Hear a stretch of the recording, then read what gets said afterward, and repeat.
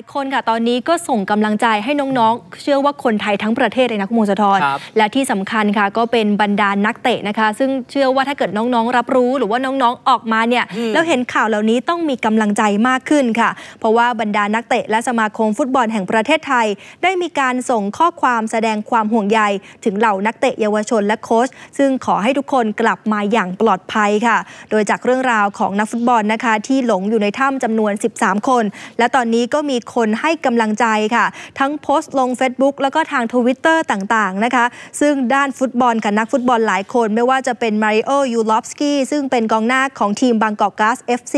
ก็ได้มีการโพสต์ข้อความถึงทั้ง 13 ชีวิตนะคะ ได้มีการโพสต์บอกว่าขอเป็นกำลังใจและเอาใจช่วยเด็กๆ ทั้ง 12 คน รวมถึงโค้ชอีกหนึ่งคน ขอให้พบโดยเร็วและปลอดภัยทุกคน ส่วนด้านเคลตันซิลวานะคะศูนย์หน้าชาวบราซิลของสิงห์เชียงรายยูไนเต็ดได้มีการโพสต์ข้อความว่า ผมขอร่วมส่งกำลังใจให้กับทีมงานทุกคน และขอให้โค้ชและเด็กๆ ทั้ง 13 คนออกมาอย่างปลอดภัย ขณะที่ประกิตดีพร้อมกองกลางดีกรีทีมชาติไทย ก็มีการโพสต์ภาพ แล้วก็อวยพรให้น้องๆ ทั้ง 13 คนปลอดภัยด้วยนะคะ เช่นเดียวกับตังสารัชอยู่เย็น กัปตันหน้าหล่อแห่ง SCG เมืองทองยูไนเต็ดก็ได้มีการโพสต์ว่าเป็นกำลังใจให้นะครับ แล้วก็อย่ายอมแพ้ ส่วนรุ่นใหญ่อย่างซิโก้เกียรติศักดิ์เสนาเมือง อดีตผูู้้ฝึกสอนทีมชาติไทย ก็โพสต์ข้อความเช่นเดียวกันนะคะ ว่าให้กำลังใจ และกำลังใจคือสิ่งสำคัญที่ทุกๆ คนในครอบครัวตอนนี้ต้องการได้รับ และขอให้น้องๆทุกคนปลอดภัย และกลับมาหาคุณพ่อ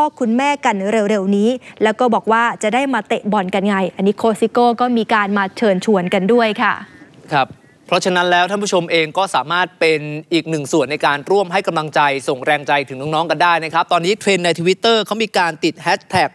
ส่งใจไปถ้ำหลวงนะฮะค่ะท่านผู้ชมสามารถที่จะติดแฮชแท็กในทวิตเตอร์รวมถึง Facebook ก็ได้เหมือนกันใช่ค่ะส่งใจไปถ้ำหลวงอืมส่งแรงใจให้กับน้อง ๆ และเจ้าหน้าที่ที่ยังคงติดตามค้นหาตัวกันอยู่นะครับ ดูรายการสดช่อง 118 พร้อมกันได้ทุกช่องทางดังต่อไปนี้ หรือดูรับชมย้อนหลังได้ที่ Daily Motion และ YouTube